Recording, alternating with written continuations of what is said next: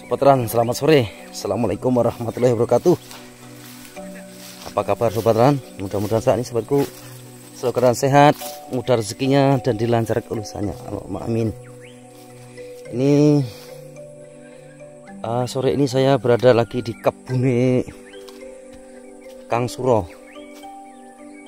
Nah, ini perkebunan Kang Suro Kremun. Pak Suroso. Ini di mana request dari sedulurnya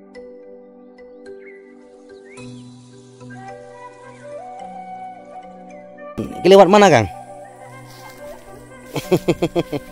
Tuh.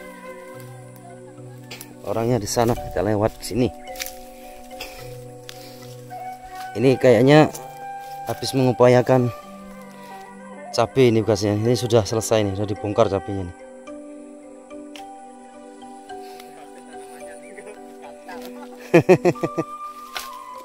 ini kita mau nyebrang sini aja. Aman ya?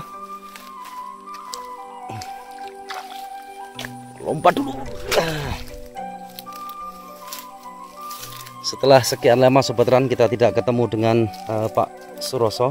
Tom akhirnya ini ketemu kembali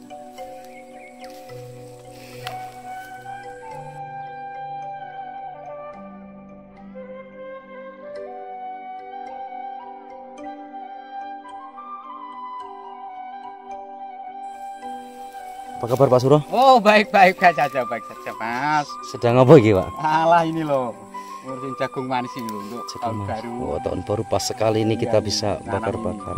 Biar sampean bisa bakar. Betul, berarti mau dikasih nanti ini. ini varia varietasnya apa nih? Apa? Pertiwi kah nih yang ditanam? Ini, ini, Gimana perawatan uh, jagung ini Pak? Cuma kualan sama rumput ini pak. Rumput aja ya oh, seperti ini ya. Jadi memang sama rumput aja pak. rumput aja kewalahannya. Jadi rumput ini memang uh, gulma yang utama ini ya pak ya, ya ini. kalau yang utama ini. Kalau anunya hama-hamanya gimana pak? Bisa teratasi? Kalau hamanya bisa terasa nih kayak okay. ulat kayak gitu. Gampang gitu hmm. jadi sedulur eh, Trenggalek kalau kangen sama Pak Surokremun kemarin yang nanyakan adiknya. Nah ini kabarnya adik Pak Surokremun kemarin nanyakan ya. Gimana? Biasa salamnya buat adik ya kemarin yang nanya?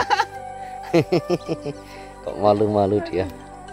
Eh sambil dilanjut iya, Kang iya, Suroso. iya, iya, ya saya nggak biasa Pak. Jadi biasanya panggil Kang Suro jadinya.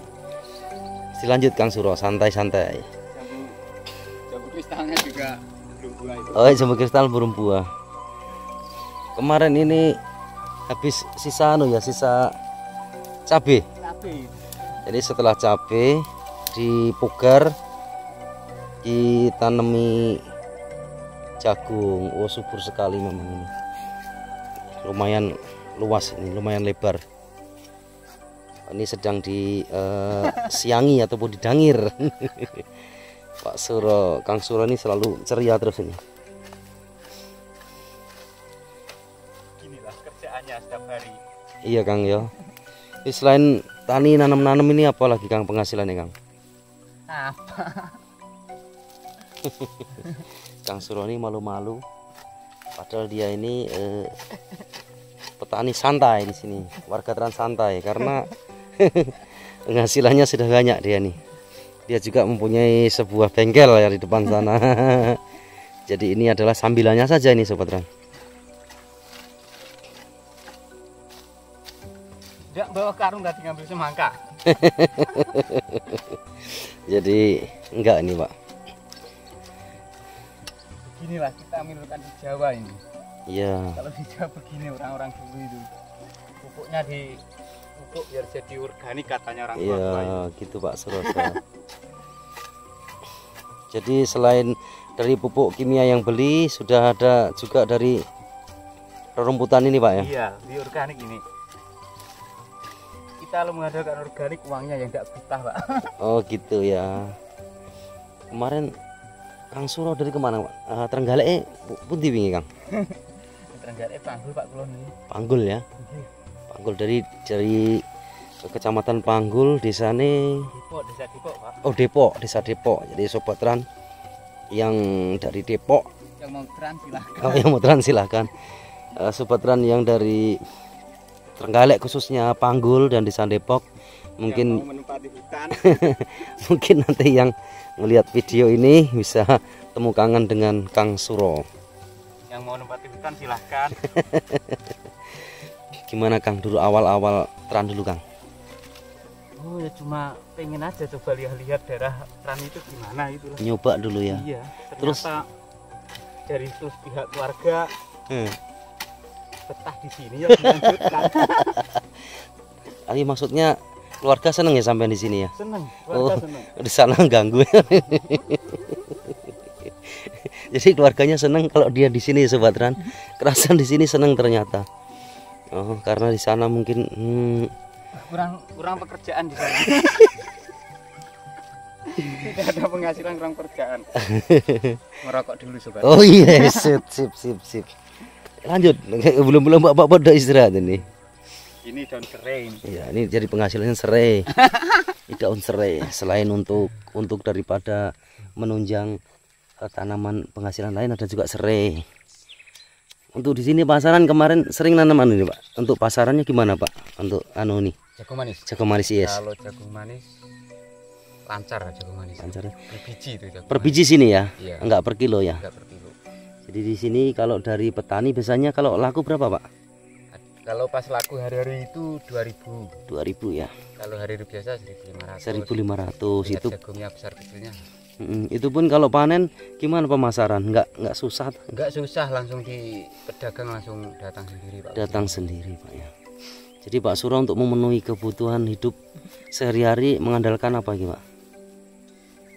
apa udah mengandalkan apa ya ya pertanian Pertanian ya, ini aja ya. kerja ya sampingan-sampingan Hmm, itulah Pokoknya sembarang kali digarap ya Kang ya. iya yang penting tidak nganggur lah Iya betul sekali.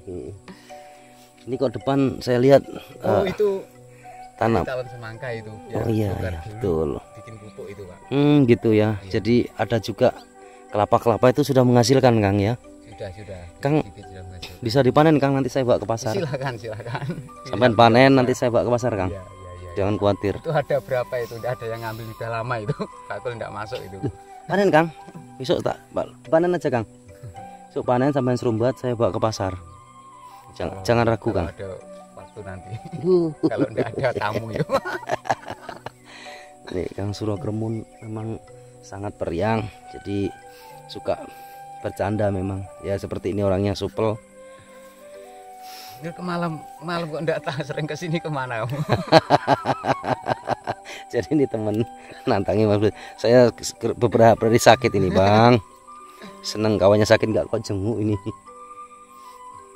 Jadi ini kita memang lama nggak ketemu dengan Bang Suro. Jadi kalau ketemu ya ini memang kita ini suka bercanda terus. Jadi belum dipupuk ini bang. Mm-mm. Ini sebentar lagi mau dipupuk katanya ini. Ini jagung manis tumbuh subur seperti ini memang menyenangkan apalagi eh, dalam masa pertumbuhan ya Kang Suro ya. Sore-sore seperti ini dilihat hijau rano, barisannya lurus-lurus, rasanya seneng aja. Kalau sekarang kan eh, sudah enak pasaran gimana kalau yang jagung apa namanya? Jagung produk itu Kang. Kalau jagung produk itu masih sulit. Masih sulit ya. Iya. Belum maksudnya belum kalau enggak banyak sekali bertonton dagang jarang. gitu. Oh, jarang ya. Kadang yang beli cuma orang punya ayam. Oh, untuk pakan-pakan dewi gitu ya. makan-makan Oh, sendiri. iya, kalau iya. bertonton ya ada yang masuk. Kalau banyak ton. Jadi memang eh, spesialnya sendiri-sendiri ya. Kalau seperti ini memang yang jagung manis ini di sini rata-rata setiap hari atau setiap pasaran gampang ya. Gampang itu pasaran ada pembeli. Kayak kemarin punya Pak Salim sekali panen tuh habis Pak. Hmm. Saya mau beli satu aja nggak kebagian. Itulah kalau jagung manis ya iya. tidak sampai tua masih muda langsung ditepas sudah laku kalau Laku, jagung Kang, ya. biasa itu sampai tua kita ngurusin sudah Betul ah, betul betul betul. tengah umur sudah laku ya. Mm-mm.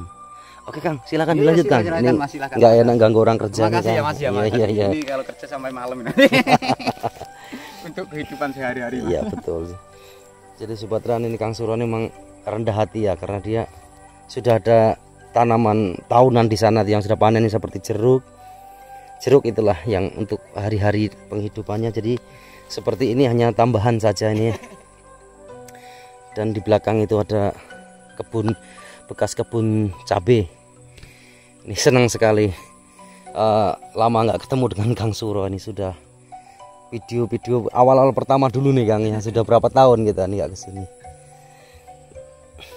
Oke sobat Ran terima kasih telah uh, menonton video saya ini.